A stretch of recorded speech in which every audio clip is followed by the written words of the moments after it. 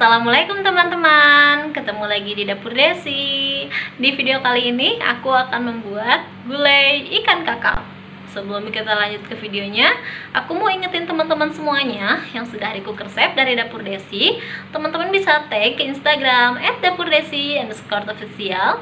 Dan yang sudah nonton juga videonya Teman-teman bisa subscribe, like, komen, dan juga share ya videonya. Oke teman-teman, sekarang kita lanjut aja untuk bahan-bahan dan cara pembuatannya 1 kg ikan kakap merah saya gunakan kepalanya. 500 ml santan 6 siung bawang merah 3 siung bawang putih 1 ruas kunyit 2 ruas lengkuas 1 ruas jahe 1 buah cabai merah besar 10 buah cabai keriting 3 butir kemiri dan 1 sendok makan ketumbar 4 lembar daun jeruk, 2 lembar daun salam, 2 batang serai, garam dan penyedap rasa secukupnya saja. Oke teman-teman, di sini aku udah siapin blender. Aku mau haluskan bawang merah,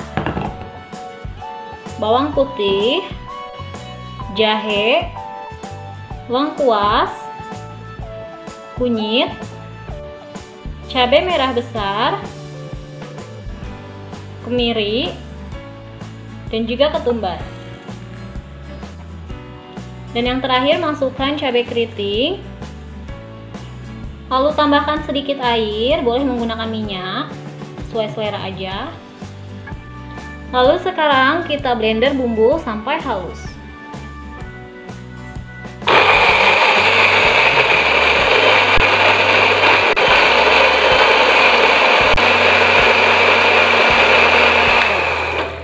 Teman-teman, ini aku udah selesai blendernya. Sekarang aku mau langsung aja tumis ya bumbunya. Nah teman-teman, di sini aku udah siapkan minyak sayur. Ini minyaknya udah aku panasin terlebih dahulu. Sekarang aku mau langsung aja tumis bumbunya.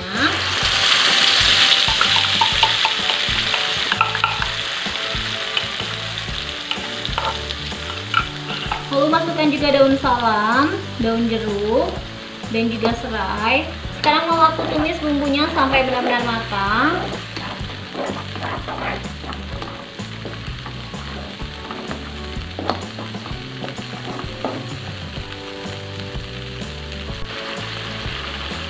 Oke teman-teman ini bumbunya sudah matang. Sekarang aku mau langsung aja masukin santan. Ini aku kecilin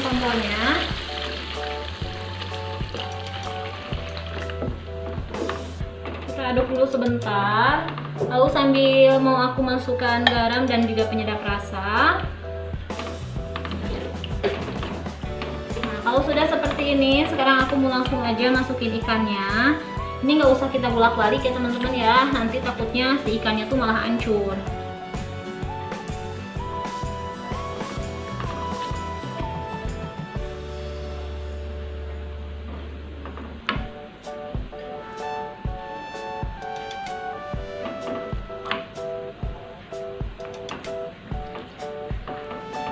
Oke, sekarang mau aku masak sampai santannya mendidih.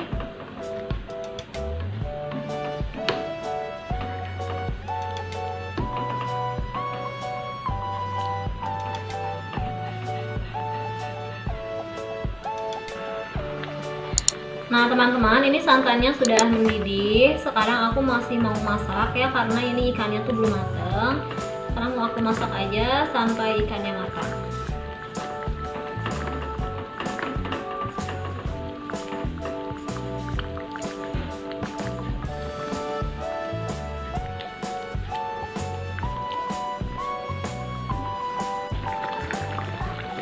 Oke teman-teman, ini ikannya udah matang. Sekarang aku mau angkat ya ikannya. Ini mau aku matiin kompornya dulu. Nah, sekarang mau aku angkat ikannya. Hati-hati ya, supaya ikannya nggak hancur.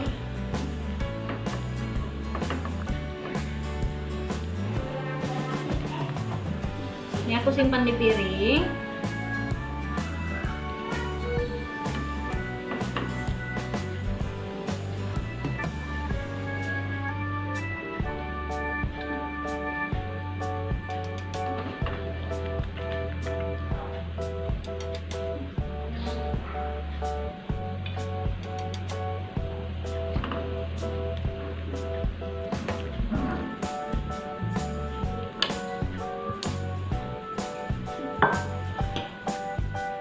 Oke teman-teman, ini dia gulai kepala ikan kakap ala dapur Desi.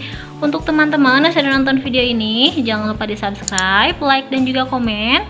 Sampai ketemu di video selanjutnya. Bye!